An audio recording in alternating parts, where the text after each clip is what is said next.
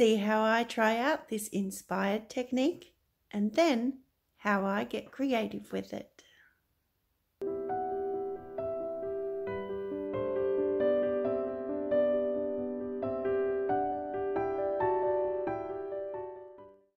Hi everyone.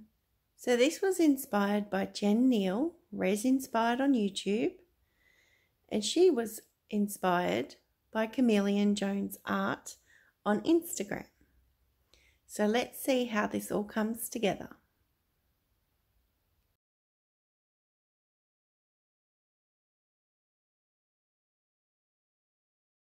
So I'm just going to use some of the box board that I have to do trials and, and whatnot on.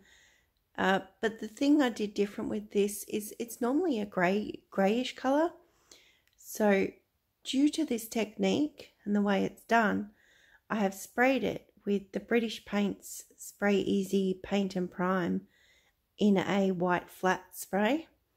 So I gave it two, two coats of that with light sanding in between just to create um, if for any reason it does show through it'll be white instead of a boring grey so I've spread my white all over the board and then just squiggled some paints you can see that I still have them laying down because they're very low and I will eventually run out of them so I can mix up some fresh paint but yep, so there we go. This is the wet paper towel.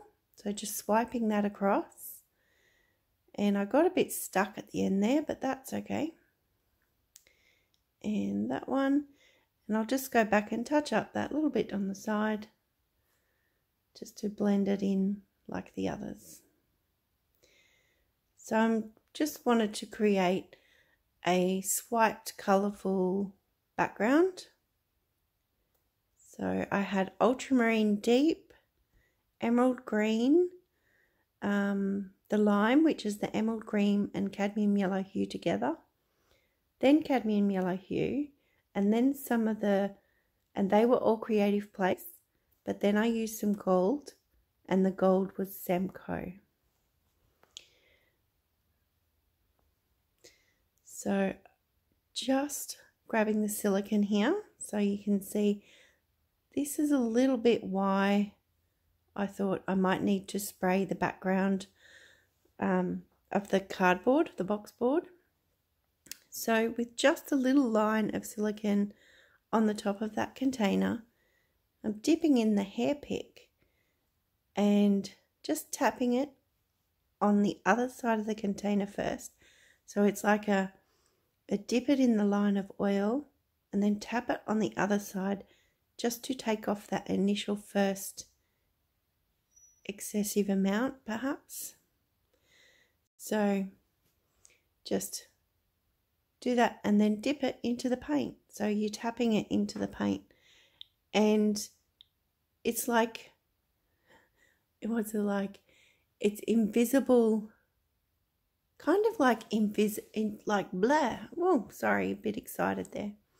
Um, uh, when you're dotting, so instead of dotting with colour in this, you're dotting with silicone and it's pushing away the colour and exposing colours underneath rather than adding colour on top. Ah, who'd have thunk?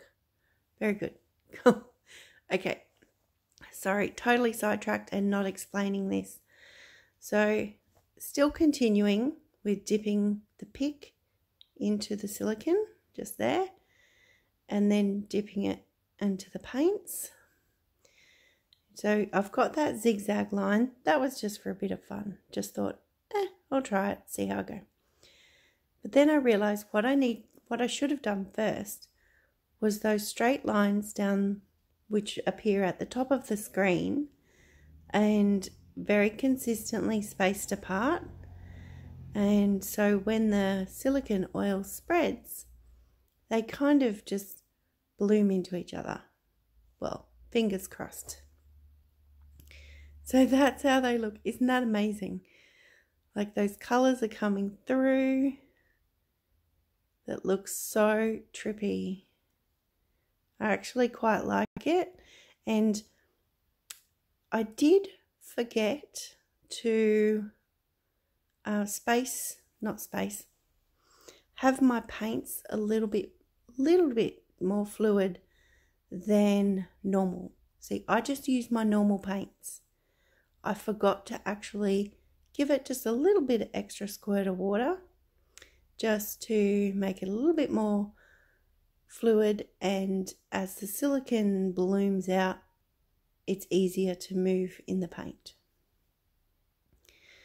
So this is where I get creative. So I've had a play. Um, I've done the lines. I think that I think it looks awesome, and I can't wait to try it again with more vibrant colours. So an idea came to mind, and I thought, you know, why not just try some, like I mentioned before, dotting, but it's in reverse. So just following this up and it's somewhat difficult to follow the lines when the cell doesn't bloom immediately that's that's, that's why it's like invisible invisible reverse dotting something like that so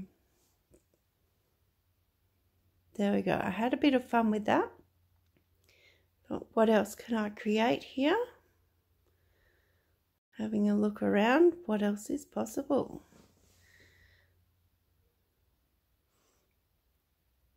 So just finding different random sections that have varying colours in them.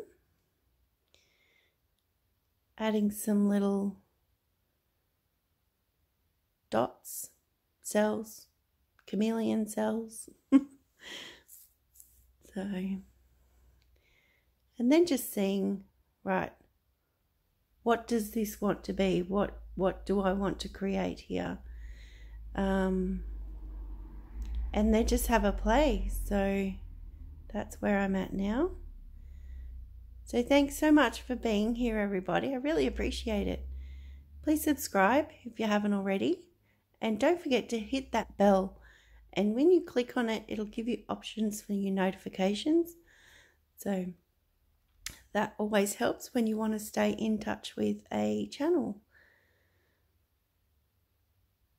all right so just sweeping it out gently with a nice fine line coming out from the center this was so fun completely inspired and then what came to mind was my own twist on it and what I could do with that. So I just had a ball. So if you're enjoying this, please give me a thumbs up. That always helps. Leave me a comment and let me know. And share it. Please share it. I am aiming for 25k subscribers because you're all fantastic um, by the end of the month. So it's getting closer and closer every day, like any other month. um, but this that is actually significant for me, and I'll announce that coming up sooner. But I really need your help. Uh, my camera is going to cut out here in a second, so we'll skip to some photos following this. Um, so I really need your help with subscribers by the end of the month that would be amazing. Thank you. So here are some photos. They look amazing. You've got the line that passes through the chameleon dots and then as it gets to the end it kind of has like that feather look which is stunning. Some of them have such varying shades of color in them. And this, oh, I'm so thrilled with this. I am going to have so much fun. So between Jenn Neil, Res Inspired, and Chameleon Jones Art on Instagram, thank you so much. This is what I've done, being fabulously inspired by you. So be kind, be creative, and be